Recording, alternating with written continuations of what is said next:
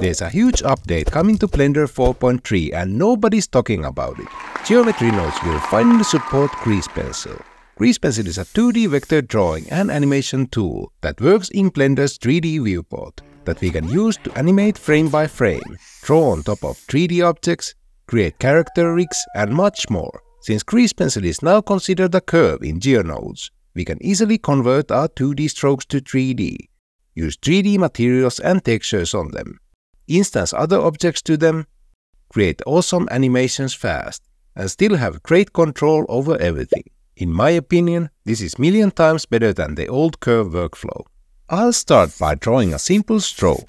When I switch to edit mode, I can toggle point selection up here and select all with the A shortcut. Then I can see all the vector points the stroke has. And this is what we can use to create cool stuff.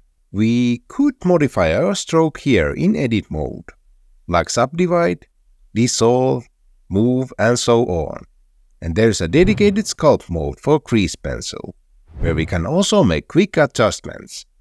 But luckily, Grease Pencil also has its own set of modifiers that helps us to change stuff really fast, like Simplify modifier for reducing points, Subdivide modifier for increasing points, and smooth modifier for smoothing the stroke. Let's turn this stroke to 3D. Add a new workspace for geometry nodes. With the grease pencil stroke selected, create a new node tree for it. This also adds the geometry nodes modifier to the object. Between our input, which is a grease pencil vector data, and output, we can start modifying our drawing even more by adding nodes, like curve to mesh node. Connect the profile curve to a curve circle. Toggle flat caps and now our stroke is already 3D. If we want to add a 3D material to this stroke, we need to add a set material node. Then we need to add an actual 3D object to the scene with Shift A shortcut and create a new 3D material for it. We can tune the material to our liking in viewport shading mode, like changing the color, add some metallic and reduce roughness. Then, select our 3D material in the Set Material node. If we want, we can also add an Extrude Mesh node here, that we can use to make our stroke to have a more wirely look.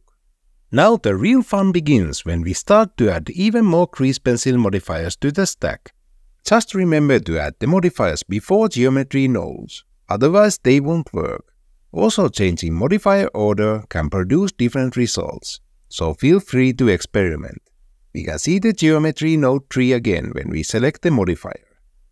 Noise modifier is great for adding extra wobbliness to a stroke.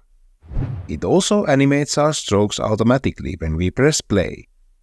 We can change the speed of the animation here, or disable it completely. We can also add a build modifier with grow mode, change the frame count to like 50 frames, and then press play. The stroke appears during the frame count. Add another build modifier, but set it to vanish mode. Tweak the frame and delay value a little, and we have a little bit more interesting animation.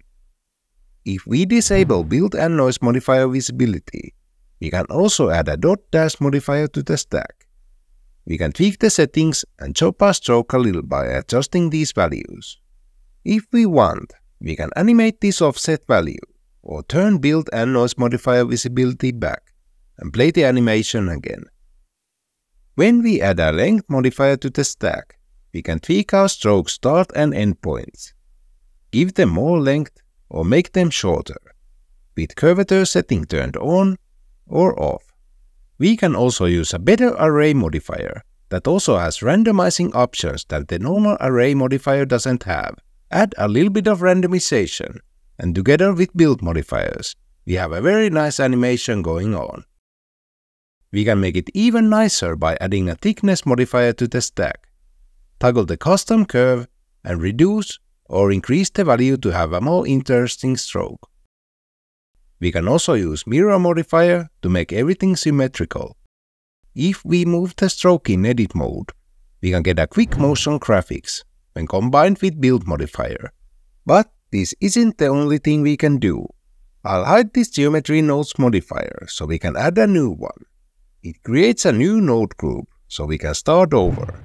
Let's instance 3D objects to our stroke next. Add an instance on points node. Then we can instance any 3D object or mesh primitive. I'll use cube because the little guy needs some love. Now we have a line of cubes instanced to our stroke that is affected by how many vector points the stroke has. We can also randomize everything with the random value node. We can hook it to the strength slot, and why not also rotation? Now with grease pencil modifiers turned on, we have quite a cool animation going on. We can also change the cube to UV sphere and add a Shed Shade Smooth modifier for a more blobby animation. Another cool thing we can do is to add a mesh to points node after instance on points to make our stroke a crazy mess of points. We can also swap the mesh to points node to distribute points on faces node. And we will now have particles flying all around. And we can instance stuff to these points if we add a new instance on points node and add a new instance object. So what do you think? In my opinion, this changes everything and opens doors to so many cool effects and animations. And this is just the tip of the iceberg. Everything will get even better when developers add more features.